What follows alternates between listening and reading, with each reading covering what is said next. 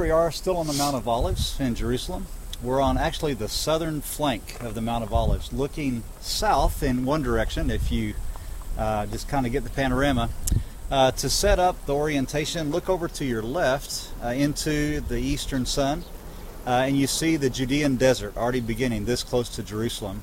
And beyond that, a little bit more to the south or to the right, you see the Dead Sea. Uh, not very well, there's kind of hazy, but that's how close Jerusalem is to the desert and the Dead Sea. And then as you pan on to your right from the Dead Sea and from the desert, uh, you see just a lot of the neighborhoods that now make up Jerusalem, a city of about 800,000.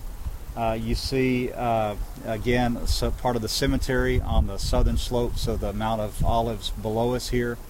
But what I want to especially point out to you is if you look straight south, you'll see in the far distance, it may be a little bit hard to see, uh, kind of a volcano shaped mountain. And that's the mountain of Herodion. Not a huge mountain, uh, but that mountain was not always there. In fact, there used to be two hills about half as tall as that mountain. And during the time of Herod the Great, he wanted to make a fortress as uh, a place to run for protection in case he were attacked or in case somebody were, were seeking his life. And so he made a series of palace fortresses where he could live and be safe. And Herodion is one of those.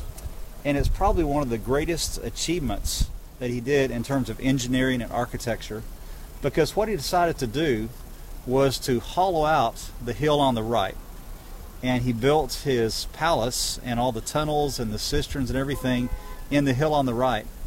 And then he basically took the hill on the left and over a period of 12 years with 20,000 slaves, he had the slaves move the hill on the left, the mountain on the left, and put it on top of the mountain on the right and basically cover up uh, his palace fortress so that he would be entirely safe. And so when everybody saw that going on for 12 years, they said, Herod is great. Herod can move mountains.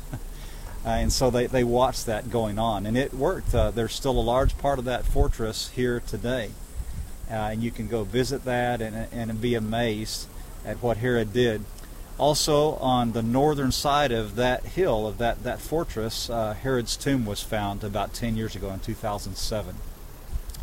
But we have a, a, different story that connects with this place as well. In Mark chapter 11, during the last week of Jesus' life, uh, Jesus is coming every day from Bethany over the Mount of Olives, probably walking with similar to this view, obviously without all the buildings and houses, and going on to the temple and teaching and doing the events that we see in the last part of the Gospels. And on one of those occasions, uh, Jesus wanted a fig to eat, and he found a fig tree, probably on top of this mountain and there were no figs. And so he cursed the tree. Then he went on and he, he uh, cleansed the temple. And he came back the next day and the fig tree was withered. And Peter and the apostles were amazed at the power of Jesus' words just speaking to the tree and, and the results that that had. And Jesus says to them, If you have faith the size of a mustard seed, you can say to this mountain, uh, Be cast into the sea. Uh, again, a way that, that he had of, of out the importance of just a small amount of faith in the true God.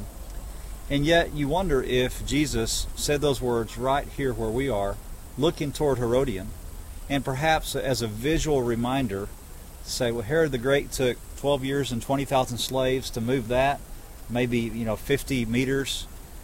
What would it be like if you could say to that mountain, with no slaves, instantly uh, be thrown into the sea? And maybe Jesus pointed at that mountain and then pointed over at the Dead Sea to make his point visually. I think it's a real possibility.